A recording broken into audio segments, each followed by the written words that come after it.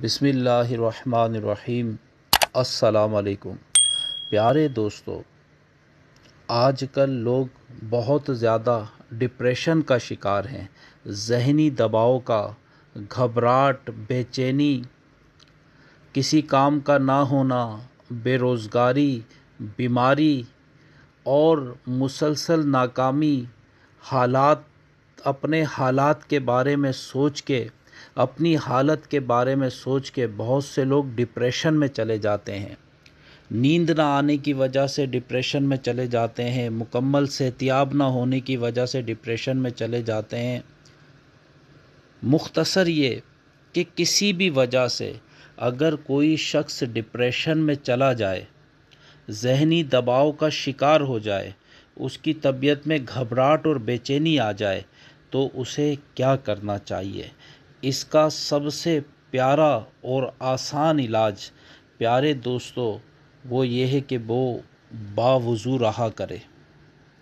बावज़ू रहने से डिप्रेशन ख़त्म हो जाता है और इसके साथ वो सूर्य अलम नशरा इकतालीस बार रोज़ाना रात को सूर्य अलम नशा इकतालीस बार पढ़ा करें, इस सूरत के पढ़ने से भी डिप्रेशन ख़त्म हो जाता है।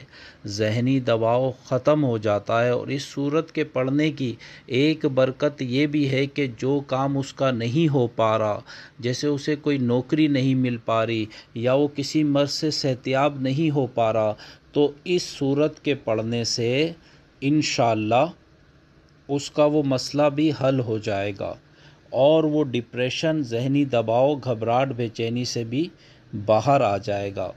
प्यारे दोस्तों, पढ़ने का तरीका क्या है? पहले ग्यारह बार दुरुद इब्राहिमी पढ़ना है, उसके बाद इकतालीस बार सूर्य अलम नशरा पढ़ना है और उसके बाद फिर इकतालीस बार, फिर ग्यारह बार दुरुद पाक पढ़ना है। दोबारा समात कर लें। ग्यारह बार दुरुद इब्राहिमी पढ़ना है, फिर इकतालीस बार सूर्य अलम नशरा पढ़ना है और फिर उसके बाद ग्यारह बार दुरुद इब्राहिमी पढ़ना है। ये पढ़ने के बाद अल्लाह से दुआ करनी है। अल्लाह की बारगाह में दुआ करनी है और अल्लाह ताला सेहत कामिला अता फ़रमाए। जो परेशानी है उसे दूर फरमा दे इन ये अमल करने की बरकत से आपका डिप्रेशन ख़त्म हो जाएगा।